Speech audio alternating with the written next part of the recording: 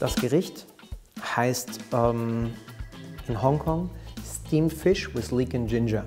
Und das ist ähm, ein Fisch, der im Ganzen auf einen Teller gelegt wird, dann im Wok gedämpft wird, mit einer Mischung aus Soja, Soße und Wasser übergossen wird und dann bestreut wird mit grob geschnittenem Lauch und Ingwer. Das Problem des Gerichtes für mich liegt darin, dass du den ganzen Fisch auf dem Teller hast, wo die Haut dran ist, die Gräten sind da drunter, die Augen sind da dran und das ist eine riesen Fummelei. Und je nachdem, was für ein Fisch das ist, also umso kleiner er ist, umso mehr Gräten hat er, umso weniger Fleisch hat man und es ist nervig.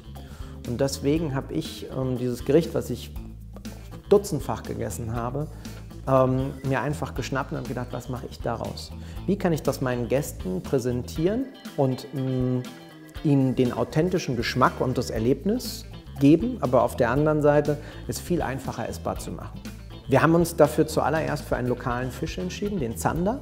Wir schneiden diese Fischfilets in der Menüportion auf 80 Gramm und dann hat man einfach einen Block feinstes, weißes, saftiges, aber durchaus auch bissiges Zanderfilet, das wir ähm, im technischen Rationaldämpfer ähm, bei 82 Grad langsam dämpfen lassen. Damit imitiert es so ein bisschen das Dämpfen im Bambuskorb oder im Wok bei den Asiaten. Den Lauch und Ingwer, der normal grob geschnitten draufgestreut ist, den ähm, servieren wir in unterschiedlichen Texturen. Das heißt, es gibt einmal einen Lauchpüree, dann Frühlingslauch im Wok angezogen. Obendrauf auf den Fisch kommt, ähm, kommen Ingwerscheiben von jungem Ingwer, die werden Reisessig über zwei Tage einlegen. Darauf Frühlingslauch, Engelshaar klein geschnitten. Und was wir dazu bringen, ist dann noch ähm, ein, eine japanische Komponente, nämlich eine Marmelade von Yuzu. Und die, die Hauptingredient auch bei, der, bei den Kantonesen ist dann eigentlich diese Sojabrühe.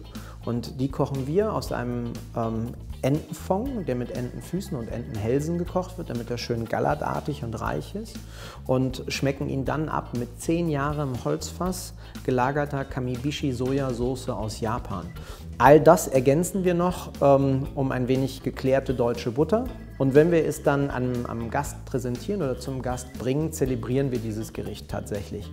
Ähm, dafür haben wir die Porzellandämpfer, wo wir den, die Zanderfilets, die dann schon ähm, mit der Garnitur versehen sind, reinpacken. Unten kommt Trockeneis rein, heißes Wasser drauf. Wir schließen den Dämpfer und servieren im Endeffekt vor dem Gast den Teller, angerichtet mit Lauchpüree, Frühlingslauch und Butter. In der Seite die Kanne mit der Kamibishi Sojasaucensud und ähm, den Dämpfer, der dann so richtig schön qualmt und dämpft. Und damit ähm, demonstrieren wir dann am Gast, wenn wir alles auf den Teller legen und den Sud angießen, das Dämpfen, also die Zubereitungsform. Und ähm, es ist für mich halt einfach auch jedes Mal so, dass ich dann vor meinem inneren Auge, wenn ich das Gericht mit anrichte, ähm, mich tatsächlich wie in Hongkong fühle. Und das versuche ich mit fast allen meinen Gerichten zu machen, eine Geschichte für den Gast zu erzählen und ihm etwas nahe zu bringen, was ich persönlich erlebt habe, was ich fühle, was was ich schmecke. Und meine Welt ist, auch wenn ich von außen weiß bin, total asiatisch und ich fühle mich auch als solcher.